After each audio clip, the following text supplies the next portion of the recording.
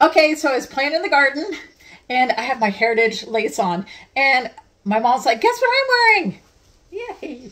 It's also heritage lace. So that's a different print. That is from like the winter season. This is the fall season. And for spring, which is March, there's going to be a new one. It's like a seafoam green, but it's going to be solid. So the lace is going to match. It's not going to have a print. Ours have prints. Here's a crazy thing.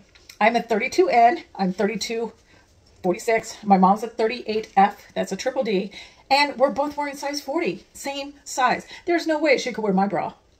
I might be able to kind of get in hers, but the band would creep up the back, which your band is supposed to do most of the support, like 90%, not the straps. Anyway, so what do you think about the, the Oh, I, I, it's so comfortable, and I love it because you can wear it as a top if you want or whatever. But it's just one. I like the print.